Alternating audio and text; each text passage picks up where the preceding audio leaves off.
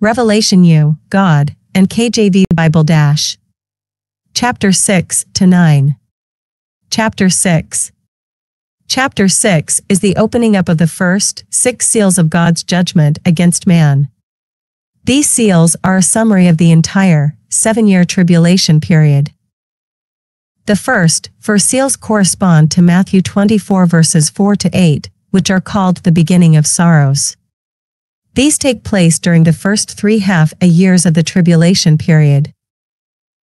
Then, the last three and a half years of the tribulation period take place, which Jesus calls Great Tribulation, Matthew 24 verse 21. God's judgment in Great Tribulation is summarized in seals 5 to 7. The seventh seal is opened in 8 colon 1. The seven trumpet judgments, chapters 8 to 11, and the Seven Vial Judgments, chapter 16. Several events happen in the middle of the tribulation period, the most significant of which is the abomination of desolation, Matthew 24 verse 15, being set up by the Antichrist in the temple. This is the image of the beast that all must worship or be put to death, 1315. Thus, the fifth seal shows all the saints killed during the Great Tribulation, Matthew 24 verse 21. The sixth seal shows God's judgment of the unbelievers at his second coming. 6 colon 1 Thunder represents the voice of God, 2 Samuel 22 verse 14 and John 12 verses 28 to 29. Therefore, God speaks to Israel to repent ye, for the kingdom of heaven is at hand, Matthew 3 verse 2, through the thunder of the tribulation period. 6 colon 2 The first seal is of someone with a bow, sitting on a white horse. This is not the Lord Jesus Christ. The Lord Jesus Christ comes on a white horse after the tribulation. Period is over, and he has a sharp sword, which is the word of God, coming out of his mouth, 19 colon 15-16. He does not have a bow. Since the first seal is the beginning of the tribulation period and Satan rules during the tribulation period, the one on the white horse is Satan. It makes sense that Satan would have a similar entrance as the Lord Jesus Christ will have, because Satan is the great imitator of God. He will deceive many into thinking that he is God, and that the Antichrist is the Christ. That is what Matthew 24 verses 4 to 5 says. Satan has a bow, here, depicting him as an archer. The symbol of an archer is two fingers raised, as if to use the bow. It is no coincidence that pictures of Satan, drawn by Satan worshippers throughout history, show Satan with two fingers raised. It is also no coincidence that the Pope of the Catholic Church raises two fingers and blesses people in like manner as an archer handles his bow. This shows the Pope as the head of Satan's church. It is called Catholic today. It is known by God as Babylon 17 5, which means confusion, Genesis 11 verse 9. So, this first judgment rendered upon man during the tribulation period is that Satan is given a crown to be temporary king of the world. Note that the crown was given unto him, 6 colon 2. A crown was never handed to Jesus Christ unless you count his crown of thorns, Matthew 27 colon 29. Jesus earned his crowns through his perfect life, death, burial, and resurrection. He also does not just have one crown, but on his head were many crowns. 1912. Jesus is not just a king, but he is King of Kings and Lord of Lords. 1916. Also, at his second coming, Jesus has the armies which were in heaven following him. 1914. There are no such armies mentioned here for Satan.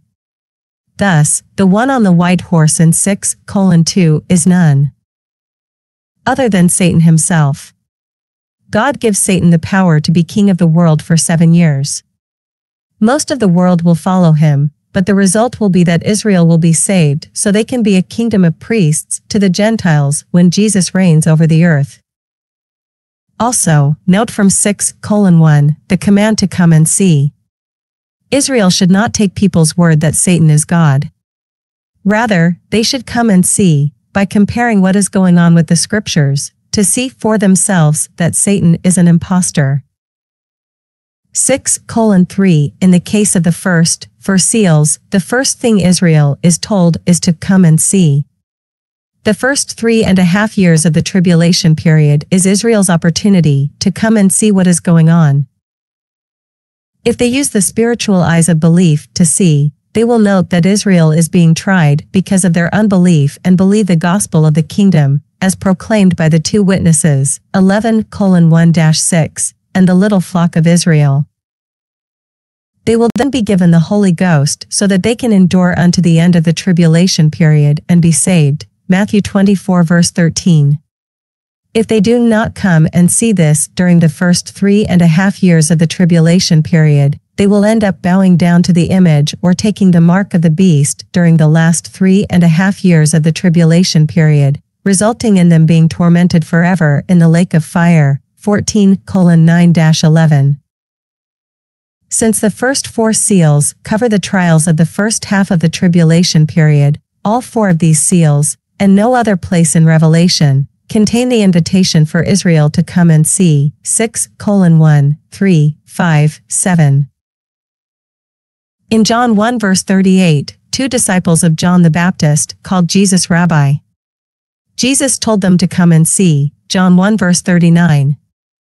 The result of them coming and seeing was that we have found the Messias, which is, being interpreted, the Christ, John 1 verse 41.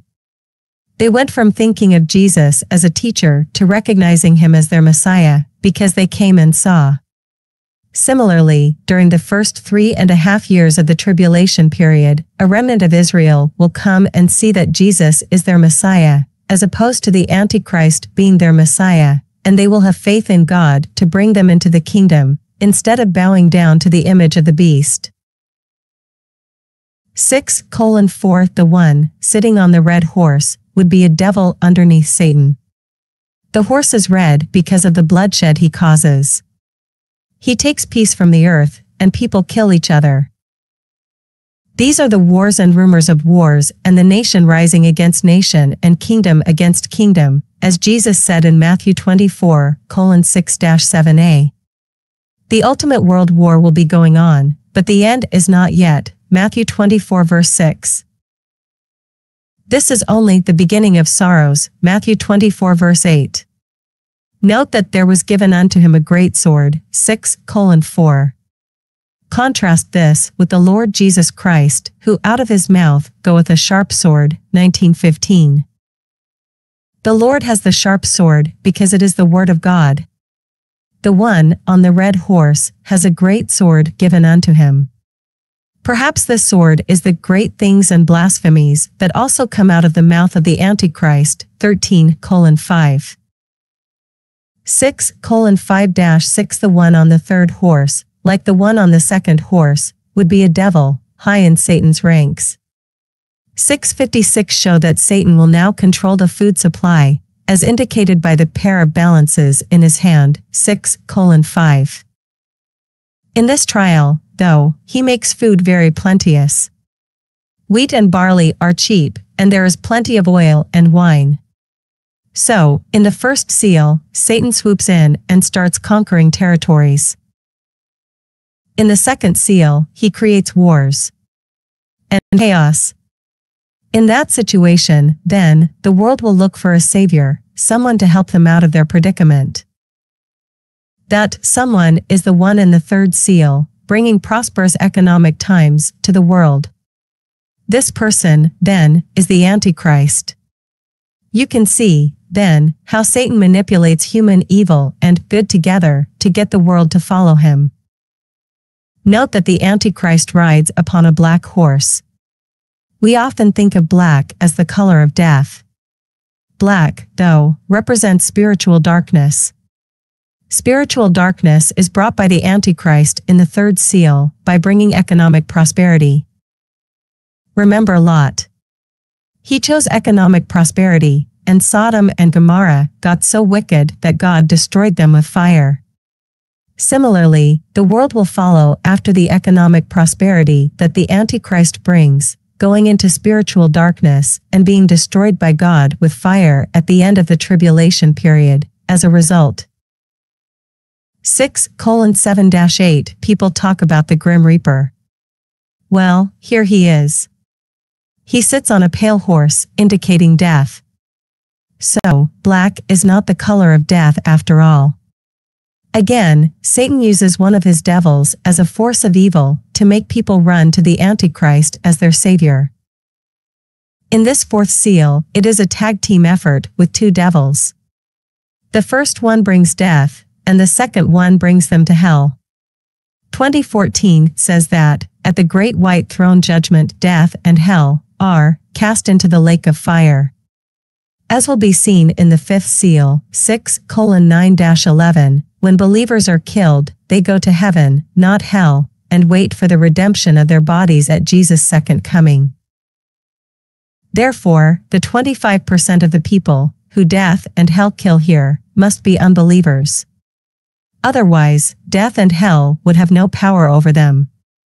These unbelievers dying are a sign to Israel of how the Lord Jesus Christ will come at the end of the tribulation period and tread the winepress of the fierceness and wrath of Almighty God. 1915, disposing of those aligned with the Antichrist. Thus, Israel needs to come and see 6 colon 7 what death and hell do to 25% of the earth so that Israel believes God's law covenant with them so that they will not be part of those destroyed at Jesus' second coming. Death and hell will kill by having people kill each other, having people literally starve to death, killing them with diseases, and having animals kill them. 6 colon 8. This fourth seal coincides with the famines, pestilences, and earthquakes mentioned by Jesus in Matthew 24 verse 7. Also, note how famine is brought about just after people had plenty to eat in the third seal. This shows how Satan plays with the emotions of people to get them to make decisions based upon their material circumstances, rather than their spiritual. This kind of devilish wisdom is sensual or based upon their senses. James 3 verse 15. Satan is just setting the world up for taking the mark of the beast. When he gives everyone plenty of food, they follow him. When he takes the food away, he blames someone else. Then, he institutes the mark of the beast for the last half of the tribulation period, and the world will take the mark to ensure that they have plenty of food in the future, thereby sealing their doom in an eternal lake of fire. 6 colon 9 Although not seen here, there is a major change in the world between seals 4 and 5. We see this change in Matthew 24. Jesus says that the first, four seals are the beginning of sorrows, Matthew 24 verse 8. Then shall they deliver you up to be afflicted and shall kill you. Matthew 24, colon 9. The reason for this change is that the first half of the tribulation period ends with the completion of the fourth seal. In the first half of the tribulation period, there are seven kings in the world, and the Antichrist is one of the seven kings, ruling over the Middle East, 17 10-11. The two witnesses keep him from sitting in the temple and declaring himself to be God, so he attempts to kill them, and they kill him instead, 11 5, 13 3. Then, Satan resurrects the Antichrist as a beast, and he kills the two witnesses, 13 1-2, 11 colon 7. The world hates the two witnesses, 11 colon 8 10, and so the world now sees the Antichrist as their Messiah, especially since he rose from the dead, which makes them think that he has the power over death, 13 colon 4 7. Now, he can finally sit in the temple and declare himself to be God, 2 Thessalonians 2 verse 4. The world now has 10 kings, but all ten kings give their power to the Antichrist, since they see him as God. 17 12-13. Thus, the Antichrist is the world's ruler during the last half of the tribulation period. 13 5. With this power over the world, the Antichrist is able to control everything. Thus, an image of the beast is made, and all, who will not worship it, are to be killed. 13 14 15. However, God has declared that all, who bow down to the image of the beast, are to spend eternity in the lake of fire, 14 9 11. Thus, believers will not bow down to the image of the beast, which results in the Antichrist and apostate Israel trying to hunt them down to kill them. This is why the last half of the tribulation period is called Great Tribulation, Matthew 24 verse 21, and Jesus tells the little flock to run for their lives, Matthew 24 verses 15 to 20. Therefore, the fifth seal shows those killed during the Great Tribulation for the Word of God, and for the testimony which they held, 6 colon 9.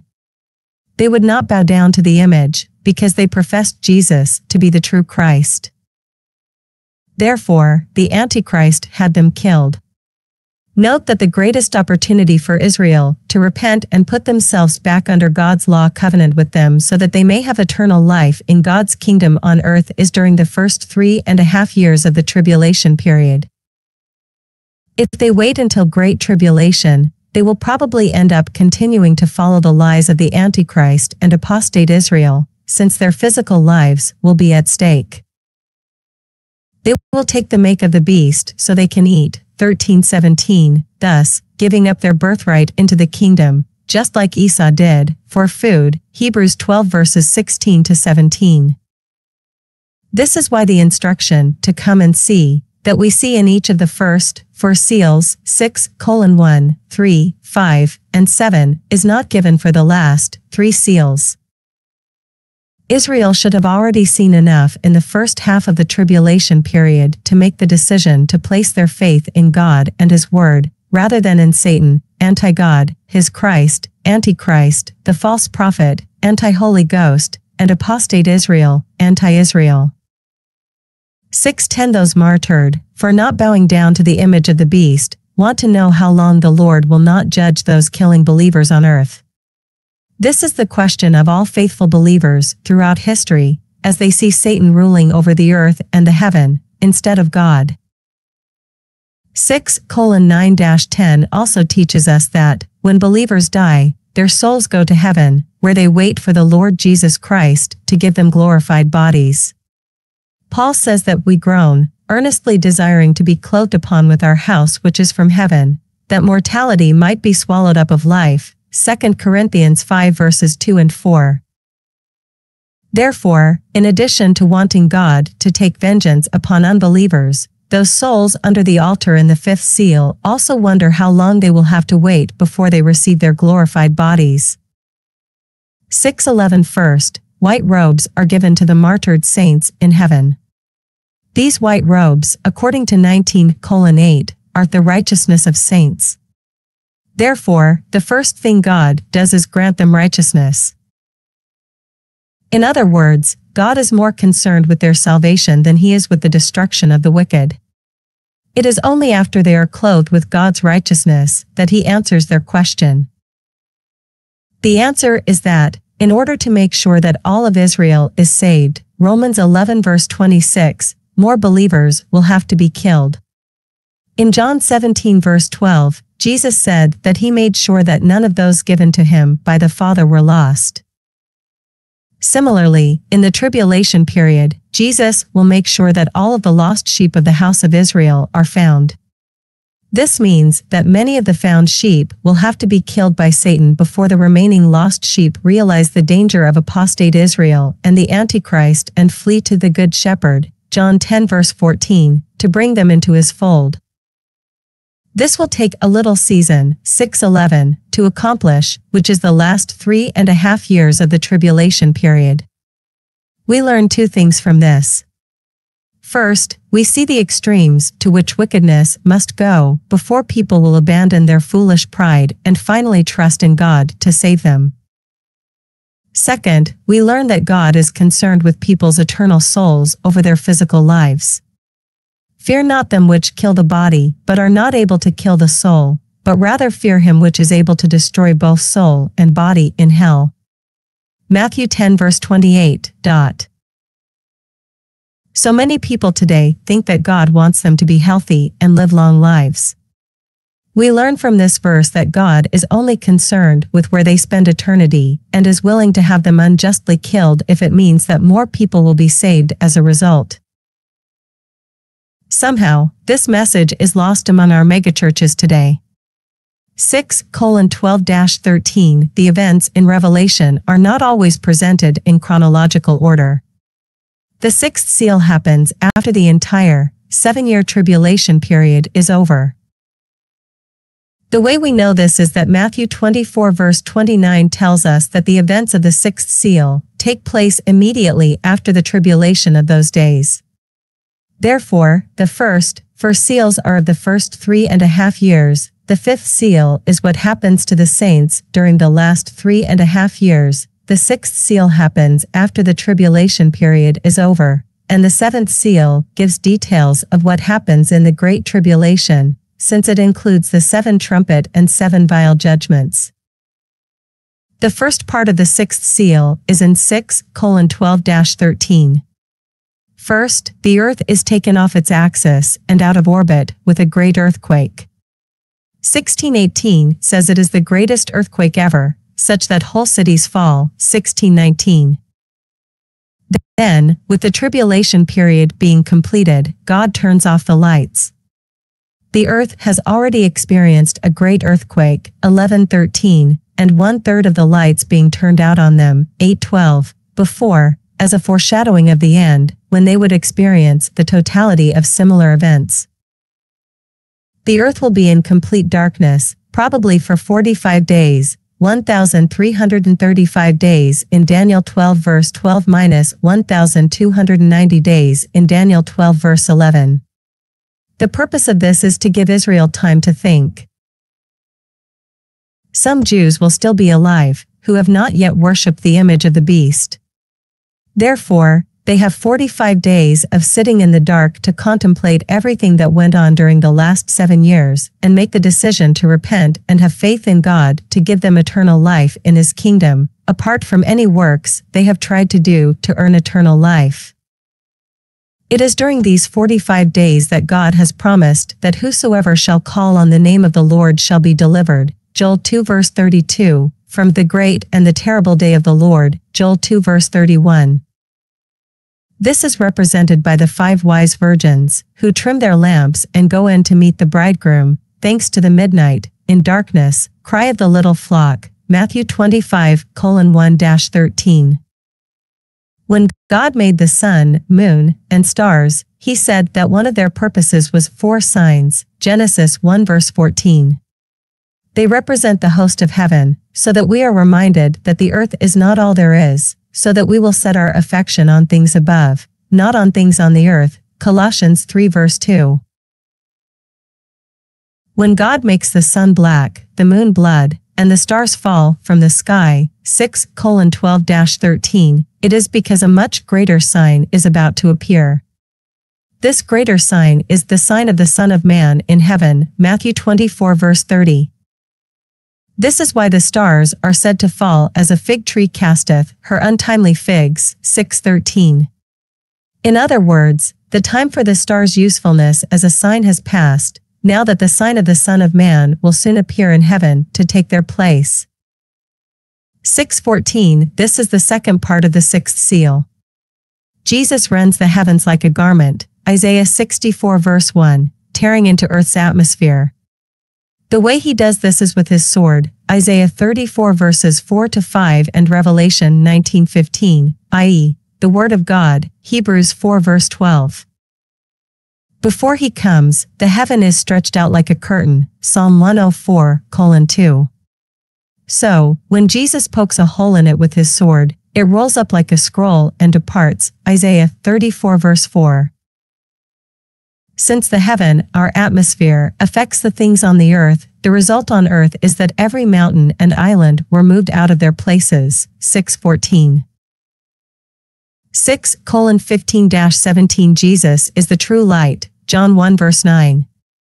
He is so bright that, in the kingdom, the light of the sun is not needed for the Lord God giveth them light, 22 colon 5. Now, if you have been in total darkness for 45 days, your eyes will need to adjust to even the least little bit of light. However, they see the greatest light ever come through the heaven. Three things to note about what happens. 1. Rich and poor, free and slave, and kings all hide together.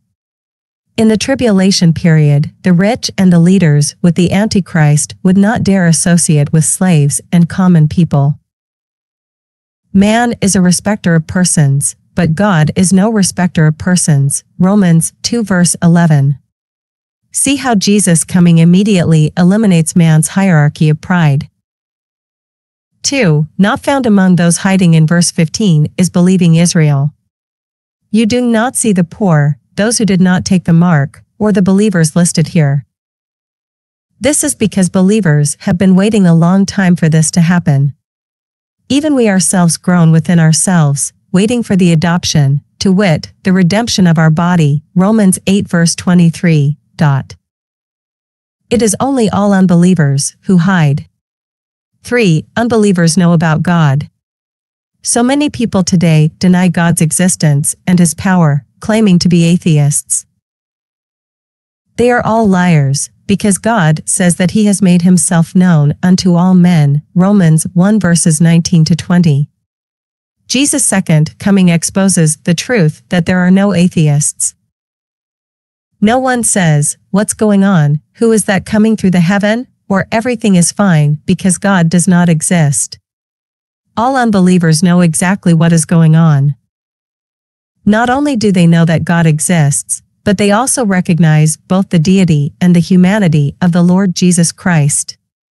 They see him as the Lamb, slain for their sins, they know that he is God because he sitteth on the throne, 616, they know that the great day of his wrath is come, 617, and they know they are powerless to stop him from destroying them. They know all of this, and have known it, while they were sitting in darkness. Yet, instead of calling upon the name of the Lord in order to be saved, like the believing remnant does. Joel 2 verse 32. They continue in their rebellion against God by calling upon creation to save them. They ask the mountains and rocks to hide them from God's face. So holy and bright is God that unholy man cannot look upon his face and live.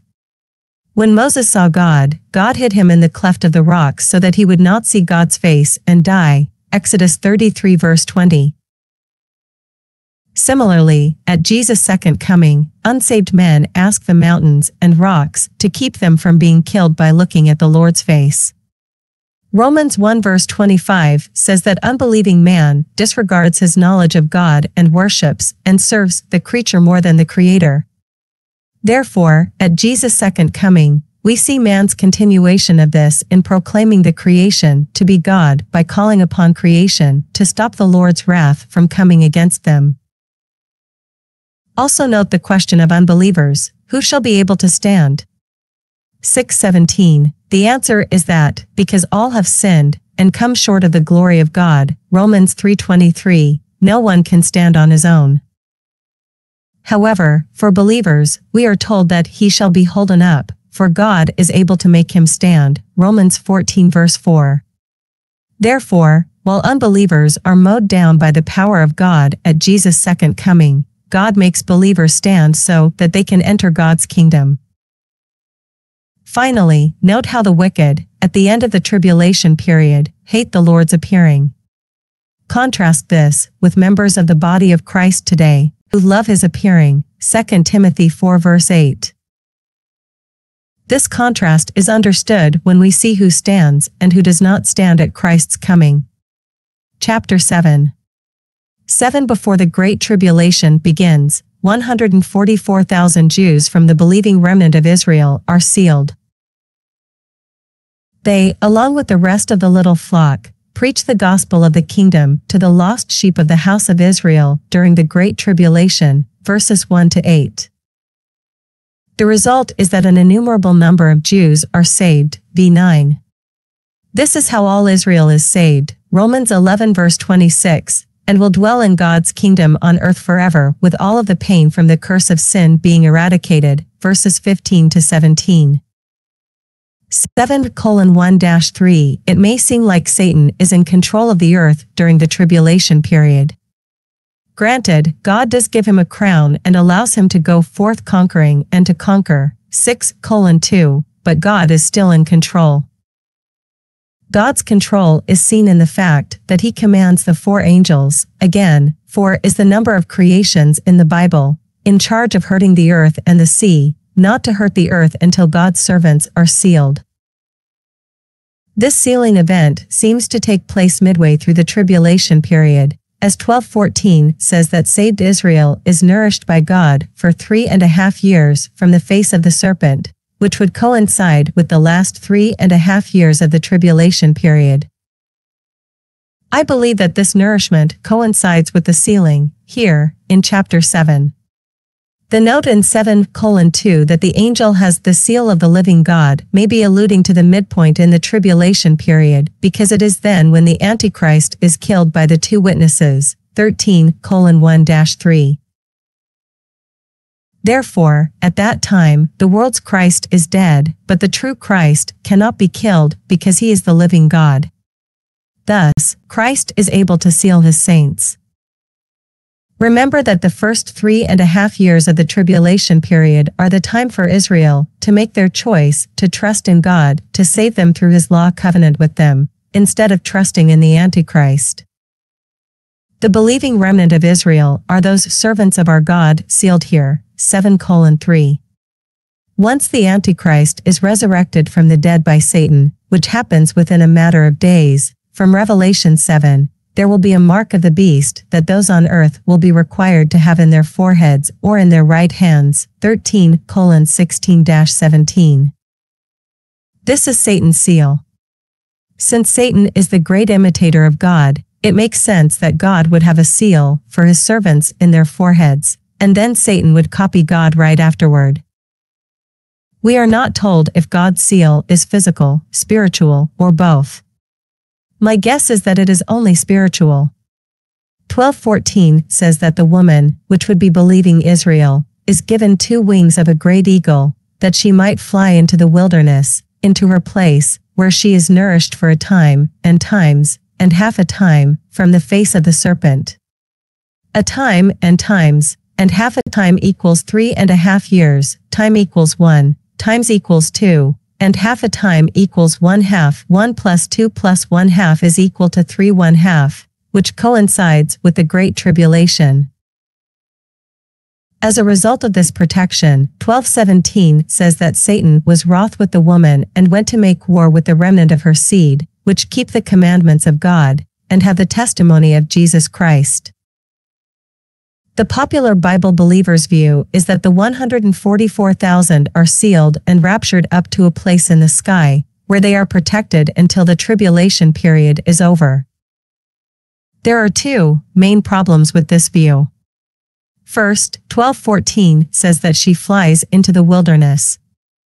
A wilderness is a physically barren place. John the Baptist preached in the wilderness of Judea, Matthew 3 verse 1, where he ate locusts and wild honey, Matthew 3 verse 4, not exactly gourmet cuisine. Jesus was led up of the Spirit into the wilderness. To be tempted of the devil, Matthew 4 verse 1, and he ate nothing at all in those forty days, Matthew 4 verse 2. Jesus being led up into the wilderness coincides with believing Israel flying there. Israel spent forty years in the wilderness, and he humbled thee, and suffered thee to hunger, and fed thee with manna, which thou knewest not, neither did thy fathers know, that he might make thee know that man doth not live by bread only, but by every word that proceedeth out of the mouth of the Lord doth man live. Deuteronomy 8 verse 3. Therefore, if believing Israel is in the wilderness for three and a half years, it means that they are eating very little to nothing, and that the nourishment they are receiving during that time is not physical food, but it is the spiritual food of every word that proceedeth out of the mouth of the Lord. Deuteronomy 8 verse 3. This explains why God allows the mark of the beast to be implemented for the last half of the tribulation period, in which all believers cannot participate in the Antichrist's economic system, meaning that they cannot buy food. 1317. This is why they must depend upon sympathetic Gentiles to give them food, water, shelter, and clothing. Matthew 25 verses 35 to 40. Therefore, believing Israel's wilderness would be in the spiritually barren land of Israel, not in God's paradise in the sky. Second, believing Israel is commissioned by God to preach the gospel to the lost sheep of the house of Israel, Matthew 10 verse 6. Because Israel will be scattered abroad among the heathen, they will not be able to go to all the cities of Israel, till the Son of Man be come, Matthew 10:23. Nevertheless, the gospel of the kingdom shall be preached in all the world before the end comes. Matthew 24 verse 14. If God needs believing Israel to preach the gospel to the lost sheep of Israel and that commission is not completed at Jesus' second coming, it makes no sense that God would remove 144,000 preachers from the world to wait for the tribulation period to be over. Who would be left to preach the gospel? And, what about Jesus' warning to flee into the mountains when the image of the beast is set up in the temple? Matthew 24 verses 15 to 16. There would be no need to flee if they are going to fly to heaven. Therefore, we conclude that those sealed by God are not taken off the earth. Rather, they stay right where they are. The reason that they are sealed is because the Antichrist will soon begin worship of the image of the beast and taking the mark of the beast. Doing either causes someone to spend eternity in the lake of fire, 14 911. Therefore, God rewards those who believe the gospel of the kingdom in the first half of the tribulation, with a spiritual seal that gives them the faith they need to resist the temptation to side with the Antichrist regardless of the consequences, in the second half of the tribulation period.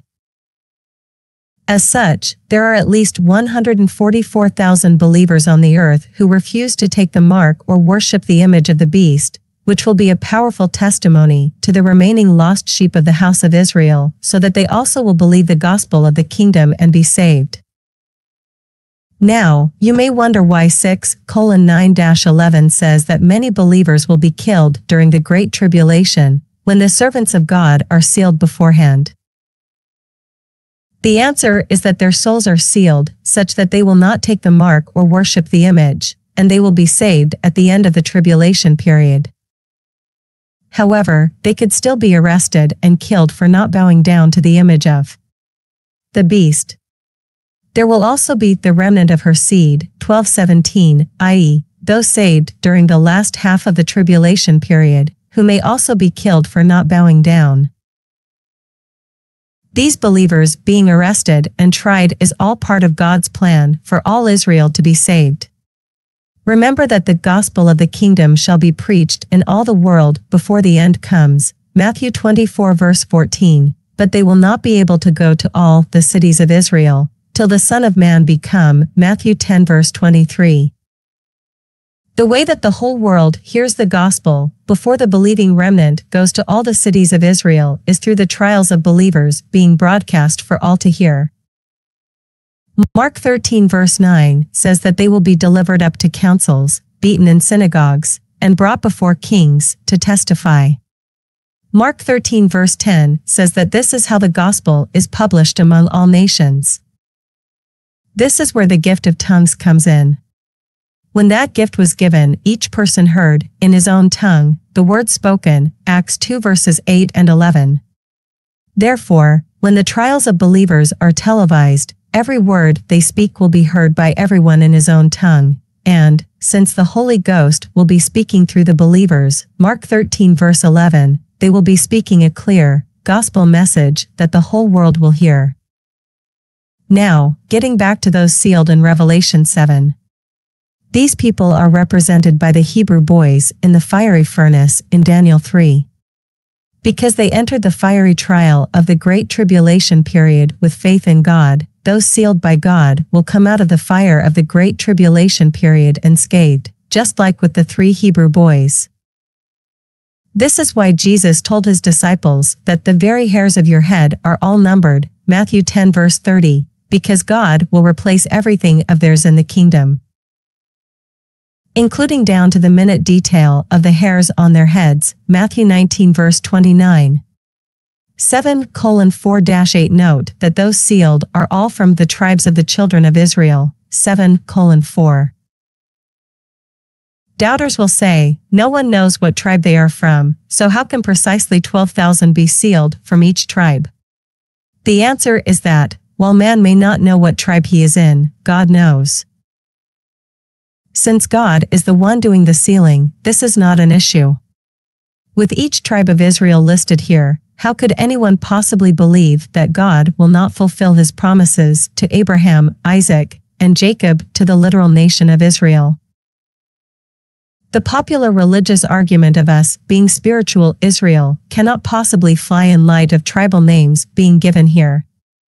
After all, it is one thing to say we are spiritual Israel.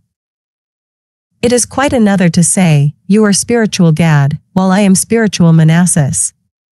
How would such a thing be determined?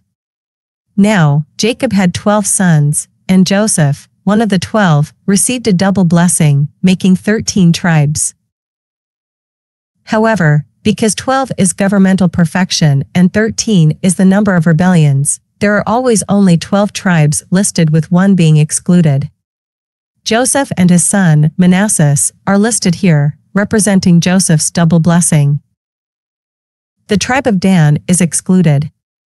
The reason is probably because the tribe of Dan led Israel into idolatry, 1 Kings 12 verses 28 to 30. Therefore, the tribe of Dan has been defiled, making them unworthy to be sealed. 14 colon 4. However, Dan will be in the kingdom. Dan shall judge his people, as one of the tribes of Israel. Genesis 49 verse 16. In other words, Dan judges, as if they are listed here. Perhaps they rule over Judah's portion of the earth, since Jesus, of the tribe of Judah, will be reigning in Jerusalem. 7 colon 9 We now jump past the Great Tribulation period to God's throne room in Jesus' kingdom on earth. The point is to show that the result of the labor of the believing remnant during the Great Tribulation is that an innumerable multitude of Jews make it into God's eternal kingdom on earth. 5 colon 9 says that saved Israel came out of every kindred, and tongue, and people, and nation. Therefore, the nations, kindreds, people, and tongues mentioned in 7 colon 9 represent saved Israel, rather than having Gentiles here as well. This is evident from them being saved out of great tribulation and serving before God I in his temple. 7 colon 14 15. Israel is scattered among the nations in the tribulation period due to their disobedience of the law covenant, as promised in Leviticus 26 verse 33. Thus, Jews come into God's eternal kingdom on earth from all nations, and kindreds, and people, and tongues, 7 colon 9. We should mention that Gentiles will be saved for blessing Israel, as Matthew 25 verses 31 to 46 mentions. However, the focus of the book of Revelation and the tribulation period is to get Israel saved so that they may go out to the Gentiles during the millennial reign as a kingdom of priests. Thus, the time of Jewish salvation in Israel's program is in the tribulation period, while the time of Gentile salvation in Israel's program is in the millennial reign. In Revelation 4, John saw the holiness of God's throne and the glory which the Lord receives forever. This is the good news that is the result of Revelation 5 to 6, the opening up of the book with seven seals, and the resulting tribulation period. Similarly, in Revelation 7, John sees the end from the beginning, which is how God declares things, Isaiah 46 verse 10, because he is the beginning and the ending, 1 colon 8. This scene in heaven is the result of the opening up of the seventh seal in Revelation 8 and the resulting events of the Great Tribulation period. Therefore, John gets the good news before he gets the bad news so that he may see the necessity of all of the events of the tribulation period. Now, we know that the multitude of Jews before the throne and the Lamb, here in 7 colon 9, are righteous, because they are wearing white robes. 19 colon 8 says that these white robes are the righteousness of saints. Therefore, we see, here, the fulfillment of Romans 11 verse 26, that all Israel shall be saved. The palms in their hands 7 colon 9 are significant because, at Jesus' second coming, he will fulfill the fall feasts given to Israel under the law covenant. The tenth day of this seventh month there shall be a day of atonement. Leviticus 23 verse 27 the ultimate fulfillment of the Day of Atonement is at Jesus' second coming when he blots out their sins. Acts 3 verses 19 to 20. The fact that they already have white robes in 7 colon 9 shows this event has already taken place when John sees them in the future. Then, five days later, on the fifteenth day of this seventh month shall be the Feast of Tabernacles for seven days unto the Lord. Leviticus 23 verse 34. This is when Israel remembers how they dwelt in tents in the wilderness, and thanks God for bringing them into the promised land. The ultimate fulfillment of this is that, after their sins are forgiven at Jesus' second coming, Israel remembers how they dwelt in the tents of their mortal flesh in the wilderness of the earth with Satan being God of the world, 2 Corinthians 4, colon 4, and thanks God for their new bodies and for bringing them into the promised land of God's eternal kingdom on earth. Leviticus 23 verse 40 says that part of that Feast of Tabernacles is that they take bunches of palm trees and rejoice before the Lord your God seven days. The palms in their hands in 7 colon 9 then show that John is seeing the celebration of the Feast of Tabernacles after Israel receives atonement for their sin at Jesus' second coming. 710 They rejoice before the Lord by proclaiming salvation to our God. 710 In other words, they were part of Satan's kingdom, but now, thanks to God's atonement of them, they are saved to be joined to their God forever. Therefore, they are not saying that God is saved, but they are saying that they are the saved and they belong to God. Also note the further revelation here that their God is both fully God and fully man. In Leviticus 23:40 in the Feast of Tabernacles, they rejoiced before the Lord their God. Now, in the full fulfillment of the Feast of Tabernacles, they know that their Messiah is also their God. Therefore, they rejoice before God, which speaks of Jesus' deity, and before the Lamb, which speaks of his humanity. 711 people, who were saved through the tribulation period, are standing before the throne, 7 colon 9. The angels, elders, and beasts stand about the throne, 711. This indicates that the angels, elders, and beasts, along with God, all have their attention on what is before the throne, the believing remnant of Israel. Therefore, their proclamation, in 712, of blessing, and glory, and wisdom, and thanksgiving, and honor, and power, and might unto God is in relation to God's salvation of Israel through the tribulation. 712 As we saw in 512, we see the angels proclaim seven things about God, with seven being the number of spiritual perfections. The list in 512 and the list in 712 are a little different from each other, because 512 relates to God as the Lamb, thus, it relates to his humanity, as the Lamb, he receives riches for winning the victory, and he receives strength to rule over all. Since God already has riches and strength, these are replaced in 712 by thanksgiving and might. As God, he receives thanksgiving from redeemed man. He also receives might, which is the authority that Satan has now in heaven and earth. Satan loses this authority as a result of God's redemption of man through the blood of Jesus Christ. Therefore, the thanksgiving and might parts relate specifically to God's victory over Satan in redeeming the believing remnant of Israel standing before the Lord here. 7 13 14 in 7 3 8, we saw the 144,000 sealed Jews before the Great Tribulation period began. 7 3-8. They, along with the rest of the little flock of Israel, preached the gospel of the kingdom to the cities of Israel, such that an innumerable crowd of Jews, 7 9, come out of great tribulation, 714, saved. Now, when the tribulation period starts, very few believers are on the earth since all believers from the mystery dispensation were raptured up just prior to this. Therefore, God sends his two witnesses to Israel to preach to them during the first three and a half years of the tribulation period, 11 1 7. The result of these two preachers is that 144,000 are saved. It is easy to see, then, how 144,000 Jews and the rest of the little flock of Israel, preaching for three and a half years, would result in an innumerable group of Jews being saved, 7 9. This innumerable group are the ones who had to learn faith in God the hard way. Only by going through great tribulation did they make it into the kingdom. Some of these were killed by the Antichrist and apostate Israel for the word of God, and for the testimony which they held, 6 9. Going through tribulation in order to be saved shows how man will usually only humble himself before God when he is tried.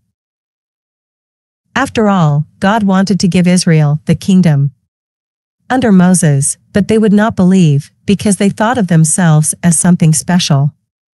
Israel's history is filled with unbelief. But, when they lose everything in the tribulation period, they finally believe. This is also why the most economically prosperous countries in the world follow vain philosophies and are deceived, while the poorer countries are more likely to believe the gospel and be saved. Their washing their robes and making them white in the blood of the Lamb, 714, is a fulfillment of Isaiah 1 verse 18. Their own righteousnesses were as filthy rags, Isaiah 64, colon 6. Their sins had made their garments as scarlet, Isaiah 1 verse 18. However, by having faith in God's promises to Israel under the law covenant, they washed their scarlet garments in the blood of the Lamb, 714, making them as white as snow, Isaiah 1 verse 18, so that they now have God's righteousness and will live in God's kingdom on earth forever. 715 This verse starts with therefore. Because Israel believed God's promises to them, their sins are washed in the blood of the Lamb, making them righteous. Therefore, because they are righteous, they are before the throne of God, and serve him day and night in his temple. 715. This quotation tells us why there are no Gentiles in this group of saved people standing before the throne. God promised Israel that they would be his kingdom of priests, Exodus 19 verse 6. As priests of the Lord, Israel shall eat the riches of the Gentiles. Isaiah 61 verse 6. Now, a priest is a mediator between God and man, as seen by the Lord Jesus Christ's example in Hebrews 9 verses 14 to 15. Therefore, Israel's job in God's kingdom on earth is to come to God on behalf of the Gentiles. That is how they serve God day and night in his temple. 715. God then dwells among saved Israel, since saved Israel is his people. Note that the verse says that he that sitteth on the throne shall dwell among them. This is very similar to Jesus' statement to conclude the book of Matthew, where he said, Lo, I am with you always, even unto the end of the world, Matthew 28 verse 20. That is because both passages refer to Israel going to the Gentiles as a kingdom of priests for God in the millennial reign. This tells us that, what Jesus meant in Matthew 28 verse 20, was that his word would go with believing Israel so that the Gentiles may be saved. Thus, Jesus' statement emphasizes the importance of Scripture as opposed to churchianity's interpretation that you can feel his presence at all times. 7 16 17 These, coming out of great tribulation, did not take the mark of the beast, 14 9 11, and so they could not buy food, 13 17. Although they did have some help from Gentiles and fellow Jews, Matthew 25 verses 35 to 40, they went hungry and thirsty often. Therefore, the promise, here, that they will hunger and thirst no more. Spiritually speaking, they also hungered and thirsted after righteousness, and God fulfills his promise to them of filling them with the spiritual food of the things of God. Matthew 5 verse 6. The sun lighting on them and the heat of the sun on them is the hard part of 716 to understand. The fact that it does not happen anymore in God's kingdom must mean that it was part of the curse of sin. We can connect this with the last part of 717, where the elder says that God shall wipe away all tears from their eyes, which tells us that the sun's light and the heat must have caused them pain. Based on Psalm 121 verses 5 to 6, the Lord is thy shade. Upon thy right hand, and Isaiah 49 verses 9 to 12, neither shall the heat nor sun smite them. It appears that the sunlight or heat has to do with Satan's people persecuting God's believing remnant in Israel. It also may be related to the curse of sin, as sunburn, heat stroke, and hypothermia are ailments coming from the sun, which will be done away with in God's kingdom, as Israel has no need for the light of the sun, for the Lord God giveth them light. 22 colon 5. Therefore, 716 is saying that all hunger, thirst, and persecution that the believing remnant of Israel suffered during the Great Tribulation are over for them in God's eternal kingdom on earth. In that kingdom, the Lamb is in the midst of the throne, 717. He is also God. Being both the Lamb and God makes him the Good Shepherd, John 10 verse 14. With the Lord being their shepherd, they shall not want for anything. He gives them rest, he feeds them with his word, and the Holy Ghost provides the living fountains of waters. Psalm 23. Funny how the lamb feeds them, when it is usually the sheep who get fed, not the other way around. The tears they cried in the great tribulation are no more. Therefore, the believing remnant can look to these two verses, 7 16 17, as encouragement to endure unto the end of the tribulation period. Chapter 8 8. The seventh seal is opened, V1, which means that the seven trumpet judgments can begin. The prayers of the saints have been heard, verses 3 to 5, which means that God brings judgment against man, but grace to the lost sheep of the house of Israel. The first four trumpet judgments destroy one third of the earth, verses 6 to 12, as a warning that man is about to be destroyed, v13, if he does not believe the gospel.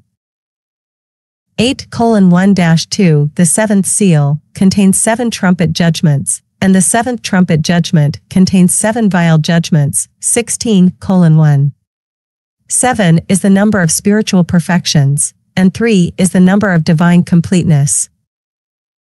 Since the tribulation period is filled with 7 by 3, seals, trumpets, and vials, tribulations, it shows that it takes three sevens for God's complete spiritual perfection to work itself into Israel.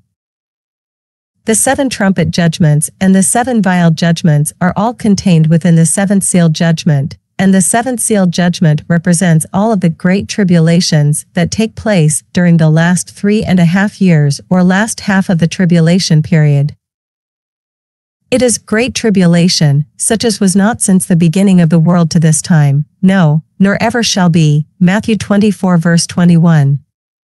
Therefore, there is silence in heaven about the space of half an hour, 8 colon 1, for the severity of what is about to take place. Note that it is the seven angels which stood before God, who are given the seven trumpet judgments, 8 colon 2. We saw, in Revelation 2 to 3, how these angels were sent with message to the seven churches in Asia. They are ministering spirits sent to help the sheep of the house of Israel, scattered abroad in Asia, to be saved at the end of the tribulation period. Therefore, these seven trumpet judgments will help the churches, as well, as they will teach Israel not to trust in the flesh and the material rewards, that the Antichrist and apostate Israel offer them, and trust in the things of the Spirit that God offers them instead. 8 colon 3 5 The prayers of all saints, 8 colon 3, would be prayers for two things. 1. Prayers for God to judge, 610, the unsaved, who persecute the saved, and 2. Prayers for all of the lost sheep of Israel to be saved. The smoke of the incense and the prayers of the saints ascend up to God. 8 colon 4.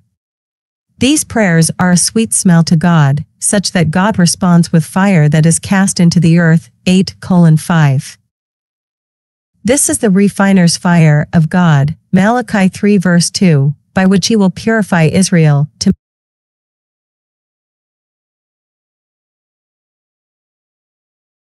make them pleasant unto the Lord, Malachi 3 verses 3 to 4, and the fire will also judge the unbelievers, Malachi 3 verse 5. As mentioned in the notes on 4, colon 5, the voices represent God's word. Therefore, God does not just punish the earth, but he also gives the revelation of his word by the Holy Ghost to the believing remnant so that they will continue to have faith in God unto the end of the tribulation period. The thunderings represent God's judgment of man. The lightnings represent the fall of Satan and his forces to the earth. 12 7 9 says that Satan and his forces are cast out of heaven unto the earth, midway through the tribulation period. In Luke 10 verse 18, Jesus equates Satan's fall to lightning falling from the sky. Of course, in addition to the written word of God being the voices, here, there are also audible voices from angels in heaven, such as the declarations in 12 to 10-12 and 8:13. When God spoke to Israel from Mount Sinai, they heard the sound of a trumpet and the voice of words, which voice they that heard entreated that the word should not be spoken to them any more, for they could not endure that which was commanded, and if so much as a beast touch the mountain, it shall be stoned, or thrust through with a dart. And so terrible was the sight, that Moses said, I exceedingly fear and quake. Hebrews 12, 19-21 With regard to God speaking in the tribulation period, Hebrews 12 verses 25 to 26 says, See that ye refuse not him that speaketh. For if they escaped not who refused him that spake on earth, much more shall not we escape, if we turn away from him that speaketh from heaven, whose voice then shook the earth, but now he hath promised, saying, Yet once more I shake not the earth only, but also heaven. Hebrews 12 verses 25 to 26. Therefore, the voices coming from God's throne, in themselves, will be enough to scare the BGVs out of many Jews, such that they believe the gospel of the kingdom right then and there. Finally, the earthquake in 8 colon 5 is the groaning and travailing in pain, Romans 8 verse 22, of the earth, as it is forced to accept the devil and all of his evil forces for the last half of the tribulation period, as they have been cast out of heaven by Michael and his angels. 12 7 9. 8 7 12 The first four trumpets pretty much destroy one third of the heaven and the earth, as a precursor to the fifth and sixth trumpets, in which one third of the men on the earth are killed.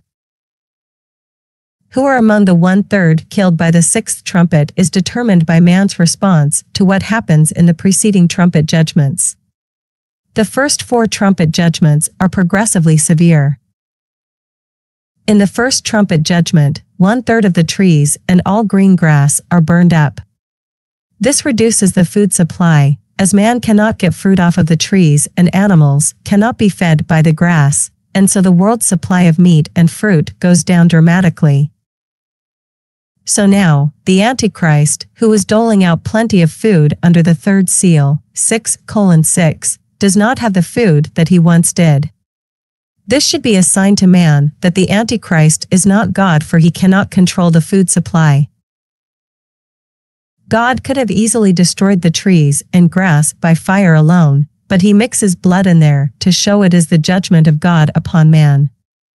It is now up to man to drink of the wine which wisdom has mingled. Proverbs 9 verse 5, seeing that as the judgment of God and repenting, having faith in the gospel, so that they may enter God's eternal kingdom on earth. In the second trumpet judgment, 8 colon 8, the water supply of the earth is affected by one third of the sea becoming blood. A mountain represents religion, and the sea represents Satan's realm. Again, God could easily have just turned one third of the sea into blood. But, by throwing a mountain into the sea, resulting in the blood, the type is set for those on earth with the ears to hear that the great mountain of the Jewish religion will soon fall, and the result will be eternal damnation in the lake of fire for all those in Israel who believe man's religion over God's words to Israel under his law covenant with them. An example of this is seen in Mark 11 verse 23, where Jesus tells Israel to have the faith to cast the mountain of religion into the sea.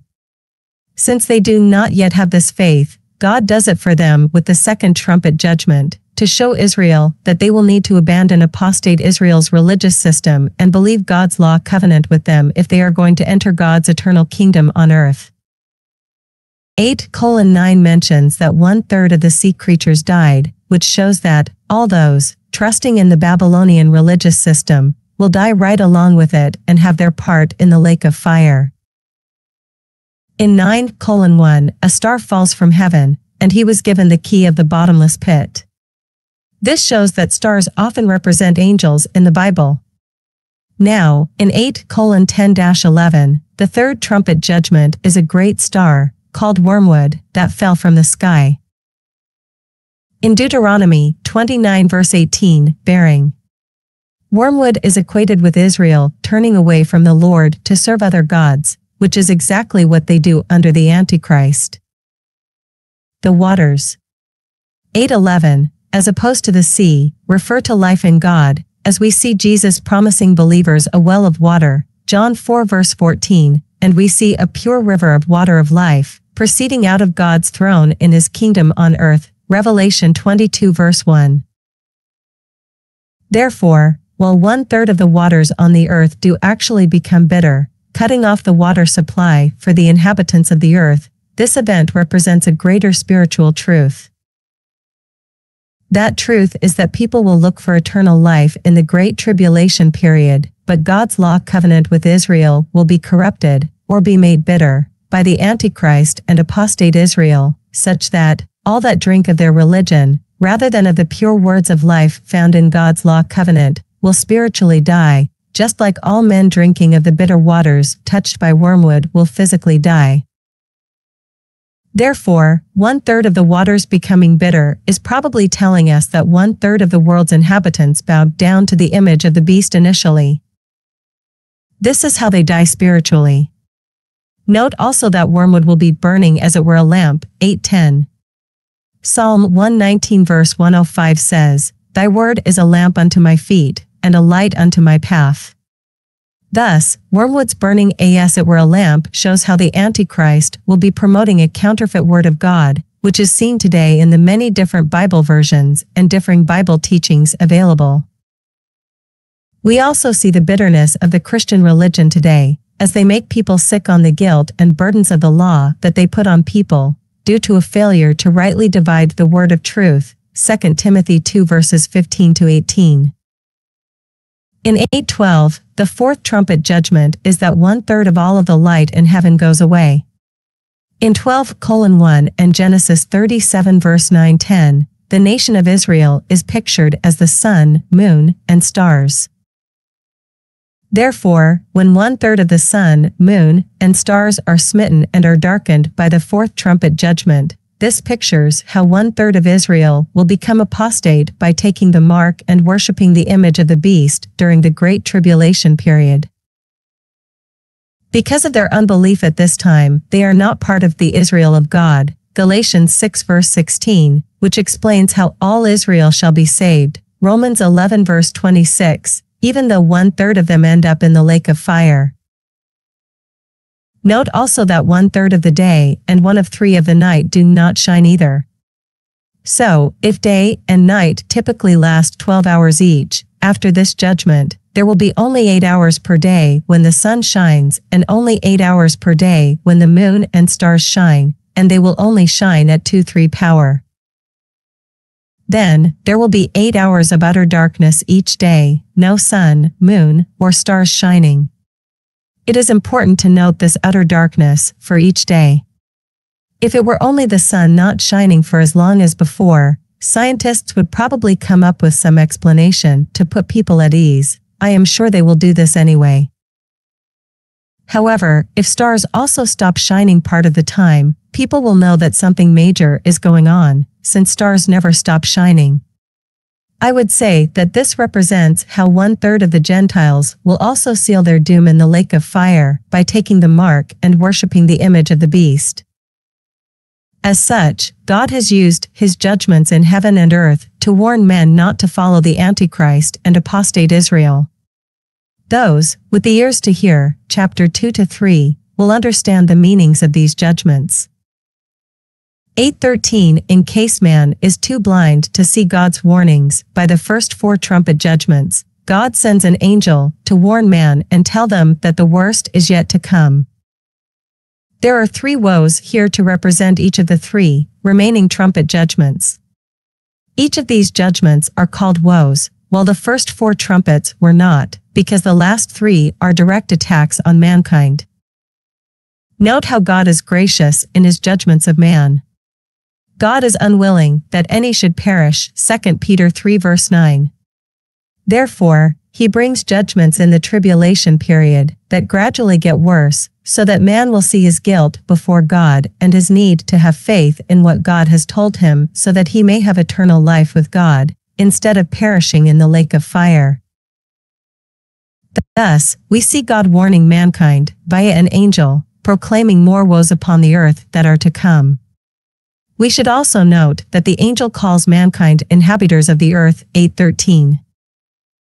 They do not own the earth due to their unbelief. It is the faithful who will inherit the earth Matthew 5 verse 5. Therefore, these unbelievers are mere inhabitants. Chapter 9 9 This chapter contains the fifth and sixth trumpet judgments. In the fifth trumpet judgment, verses 1 to 11, mankind is tormented for five months to give them a taste of what eternity in the lake of fire will be like. In the sixth trumpet judgment, verses 13 to 19, one third of the world's population is destroyed to show them their end result of following the Antichrist. In spite of these severe judgments, man continues in his evil ways, because he is spiritually dead, verses 20 to 21. 9 colon 1 As mentioned before, the star falling from heaven is an angel, which is why the star is referred to as him. See 12 colon 4, where the angels are referred to as stars.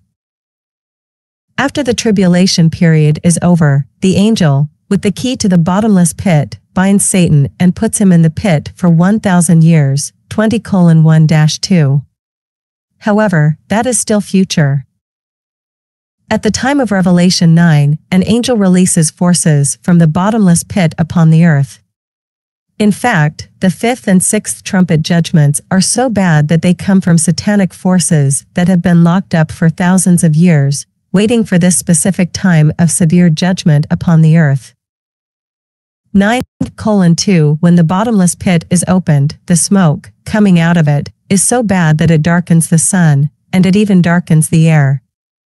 When the glory of the Lord filled the tabernacle, it was so great that Moses could not enter the tabernacle. Exodus 40 verse 34. When the devil's essence comes on the earth, it is a darkening presence that is a filthy, nasty smoke as the smoke of a great furnace. 9 colon 2. This shows the contrast between God and the devil. 9 colon 3 18 When locusts were released upon Egypt, they ate everything green on the earth. Exodus 10 verses 14 to 15. When locusts are released for the fifth trumpet judgment, they torment man. Then, in the sixth trumpet judgment, horses and horsemen come and kill one third of man. These two judgments serve as a type of what is described in Joel 2 verse 111, when, at Jesus' second coming, the believing remnant go forth, under the Lord Jesus Christ's lead, and destroy the Antichrist's forces so that Israel may inhabit the land once again. When they do this, they are described as having the appearance of horses, and as horsemen, so shall they run, Joel 2 verse 4. Thus, for those who survive the fifth and sixth trumpet judgments, they still have a chance to repent and believe the gospel, so that they will not be destroyed at Jesus' second coming. 9 colon 3 4 in the first four trumpet judgments, found in chapter 8, God has already pretty much destroyed one third of the things in the earth. Therefore, the job of these locusts is not the same as it was in Exodus 10. They have the power of scorpions, which means they are on the earth to hurt people. This is why they are told not to go after what they normally go after, i.e., the green stuff on the earth. Instead, they are to hurt people. They have the power to hurt any man, except for the 144,000 sealed in God, 9 colon 4. Therefore, even Jews, who heed the warnings of the first four trumpet judgments by repenting and believing the gospel of the kingdom, will be tormented by these locusts. This tells us that the unsealed believing remnant will have a difficult time during these three and a half years, to say the least. Thus, we see the importance for Israel to believe the gospel before the Great Tribulation starts, so that they can be sealed by God and avoid such torment that people will wish they could die to get out of the torment. 9 6. This sealing, then, should remind us of Israel during the plagues of Egypt. All of Egypt was hurt by the plagues, except for Israel. Example, Exodus 9 verse 26. So, too, all those 144,000, who are in the Israel of God and are thus sealed to begin the Great Tribulation, will be the only ones on earth not touched by the events of the Great Tribulation. As such, they will be a sign to the rest of Israel that they also need to repent and believe the gospel, if they are to be saved from God's wrath to come. 9 colon 5 6 For five months, the earth will be filled with locusts that torment people with the sting of a scorpion. People will be so tormented that they will want to die, but death shall flee from them. 9 colon 6. This means that all attempted suicides will fail. Thus, this gives man a taste of what the lake of fire will be like, where man will be tormented forever, probably by these very same locusts, and there will be no way for them to stop their torment by dying. The smoke of their torment ascendeth up for ever and ever, and they have no rest day nor night. 1411. The message to mankind will be that, if they do not want to suffer like this permanently, they had better place their faith in what God has told them. The rich man asked Abraham to tell his family about how awful hell fire is, Luke 16 verses 27 to 28. Well, for five months, God gives the world just a small taste of what the lake of fire will be like so that they may believe the gospel to them and be saved. Since this is just a taste of hell and men still seek death, we can only imagine the sheer torment of eternity in the lake of fire. Thus, these five months of torment show God's tough love for the world, that he would inflict such pain upon them for five months, so that they do not have to suffer much worse pain for all eternity.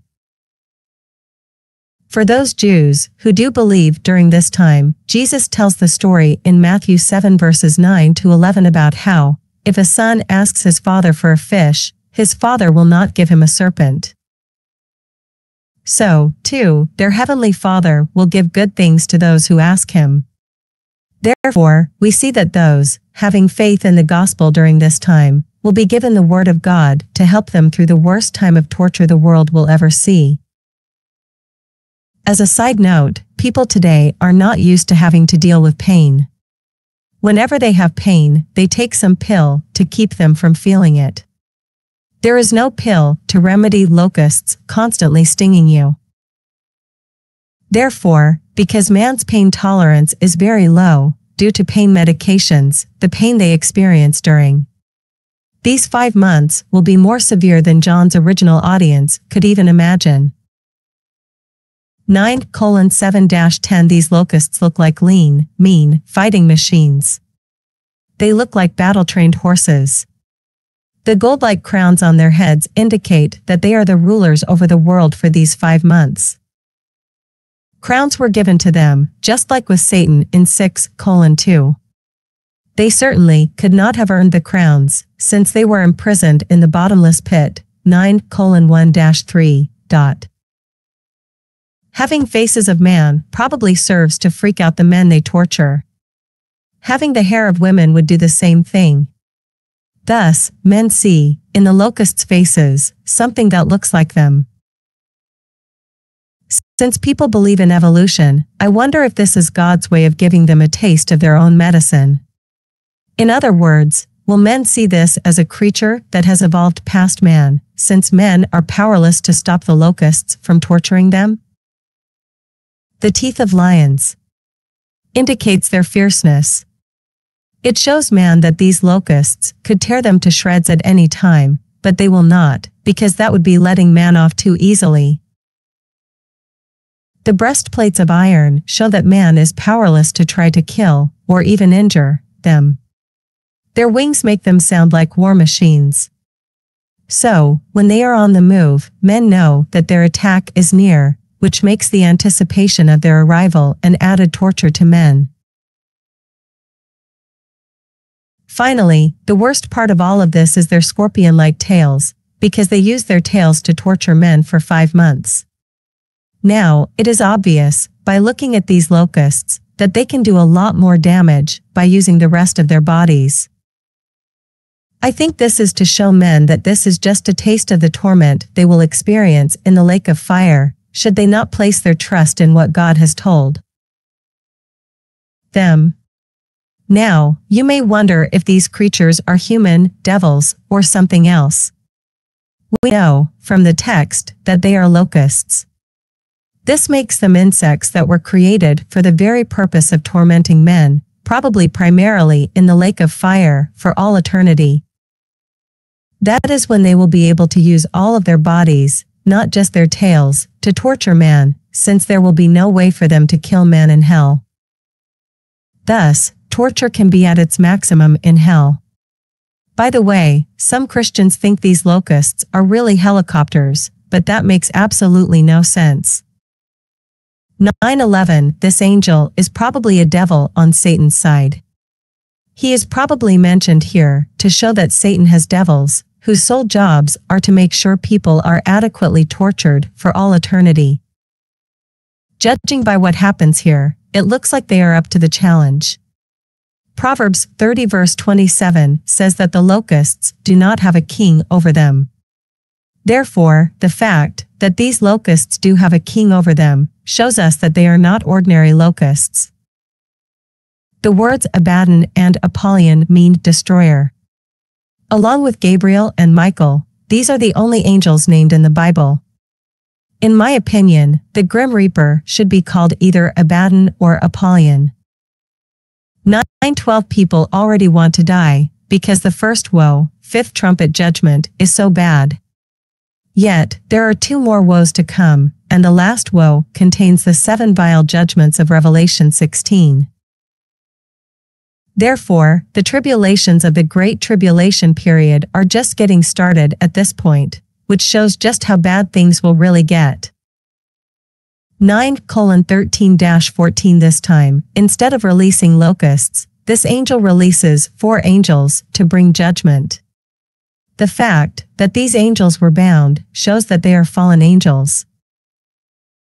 They are so bad that God does not even let them do Satan's work, because they probably would not obey.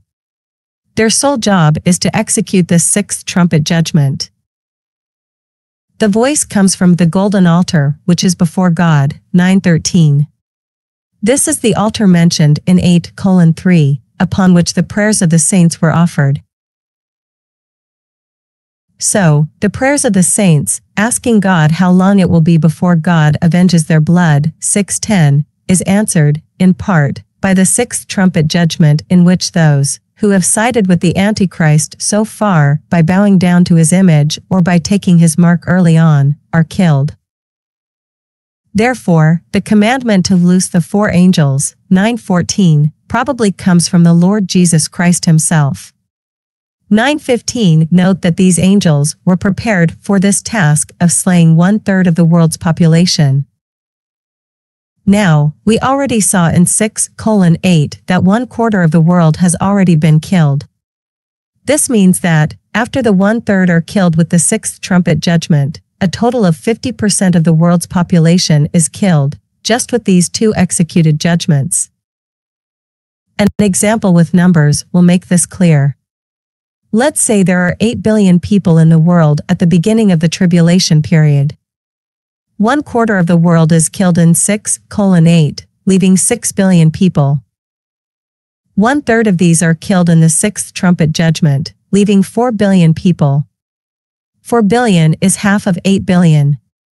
As can be seen, this is a monumental task to complete. That is why these four angels had to be prepared just for this specific hour, day, month, and year, in which they would oversee the killing of 2 billion people. The idea is that, by killing all those who have already bowed down to the image or taken the mark, the rest of the unbelievers can see that, if they follow suit, God will also kill them. This is not some idle threat. Since God has the power to kill 2 billion people at once, no one, not even the Antichrist, can stop God from killing the rest of the world. At the beginning of the Great Tribulation period, the world worshipped the beast, saying, Who is like unto the beast? Who is able to make war with him? 13 colon 4. Now, they have their answer. The Lord is a man of war, the Lord is his name, Exodus 15 verse 3. 916 These are 200 hundred million horsemen, under the leadership of these four angels, who killed a 2 billion or so people. We are not told who the 200 hundred million men riding these horses are, or even if they are men. Since they are part of the army under the four angels, they are probably devils, just like the four angels are. 9 colon 17 19 Note that the ones sitting on the horses are just along for the ride. It is the horses themselves that kill one third of the world's population. They kill them with the fire, brimstone, and smoke coming out of their mouths, signaling that there is more torment of fire, brimstone, and smoke to come in the lake of fire. Now, we saw, in the picture of one third of the waters becoming bitter in the third trumpet judgment in 811, that one third of the world bowed down to the image of the beast. 14 9-11 says that those bowing down to the image or taking the mark of the beast will experience fire, brimstone, and smoke forever. Since their eternal destiny is sealed when they bow down, it makes sense that the one-third of the world who initially bow to the image are the ones killed here, as a sign to the rest of the world that they will also go into the lake of fire for all eternity if they bow down. These horses also use their lion-like heads and their serpent-like tails to hurt men. Thus, they hurt men, and then they kill them. God's justice makes the punishment fit the crime as God says, and if any mischief follows, then thou shalt give life for life, eye for eye, tooth for tooth, hand for hand, foot for foot, burning for burning, wound for wound, stripe for stripe. Exodus 21 verses 23 to 25. Since these people followed that old serpent, called the devil, and Satan, 12 colon 9, it makes sense that they would be hurt by serpent-like tails. Thus, God is always just, even with dirty, rotten sinners. Also, note that these verses emphasize that the men are killed by fire, probably to make it clear that God remembered his covenant with Noah and did not kill them by water. Genesis 9 verse 11. 9 colon 20-21, so, half of the world's population has already been killed by this point. Those remaining have seen this. They have seen that those bowing down to the image of the beast were killed, while the believing remnant of 144,000 have been spared all six of the trumpet judgments. They have heard voices from heaven, warning them of what was happening, yet they repented not. 920. How much plainer can God make it that man is sinful and in need of a Savior? If they do not believe the gospel, they will burn in hell. The Antichrist has probably explained all of this away by saying that the devil, who we know is really the Lord God, has done this, and the only way to be saved is to follow the Antichrist, who will lead them to God, who we know is really Satan. Isaiah 5 verses 20 to 21 Woe unto them that call evil good, and good evil, that put darkness for light, and light for darkness, that put bitter for sweet, and sweet for bitter. Woe unto them that are wise in their own eyes, and prudent in their own sight. The remaining unbelievers should not be fooled by the Antichrist. They should see that the Antichrist and his forces are on the devil's side because they have already seen that God is more powerful than the devil is. After all, God just wiped out one third of the world's population, and the ones he wiped out are the ones who bowed down to the image. The Antichrist, though, does not have this power. Of those who have not bowed down, the Antichrist is only able to kill those he can catch. God probably divinely protects a good portion of the little flock so that they can reach the lost sheep of Israel with the gospel, much like God protected David when Saul was trying to kill them, since this is a type of the Great Tribulation period. Therefore, unbelievers can look at what the Antichrist says, examine the evidence of 50% of the world's population having been killed, and determine that the force behind believing Israel is more powerful than the force behind the Antichrist. Therefore, the God, who believing Israel worships, must be the true God since he is the more powerful of the two. This is simple logic. However, the unbelievers are so far gone into apostasy, at this point, that God has given them over to a reprobate mind, Romans 1 verse 28, such that they continue in their evil deeds. This means that, in spite of the evidence before them, many will bow down to the image and take the mark of the beast and have their place in the lake of fire for all eternity, as a result. Jesus prophesied of this by saying, As the days of Noah were, so shall also the coming of the Son of Man be. Matthew 24 verse 37. In the days of Noah, God saw that the wickedness of man was great in the earth, and that every imagination of the thoughts of his heart was only evil continually. Genesis 6 verse 5.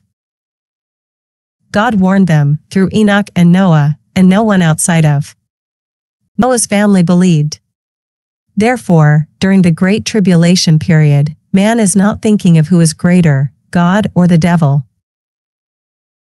Man does what he has always done, which is trying to figure out how he can do the evil that he has purposed in his heart to do and get away with it. Man's best chance of this appears to be following the Antichrist. Therefore, he bows down to the image of the beast. The evil of these men is divided into two categories, 1. Idol worship, v20, and 2. Self-worship through their sins, verse 21. The idol worship involves the worshipping of devils. People will say that idol worship does not happen today, but it does. We see it in the Catholic Church, in other denominations within Christendom, and in other religions. Idol worship is really following anything that man has made. Much of the idol worship today in the United States is of the Hollywood stars. Note that 920 calls it the works of their hands. This makes man the creator, and, in turn, makes him a god.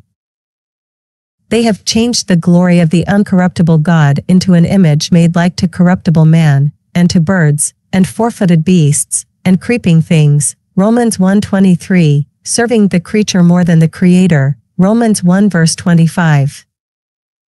Psalm 115 verse 8 says, They that make idols are like unto them, so is everyone that trusteth in them.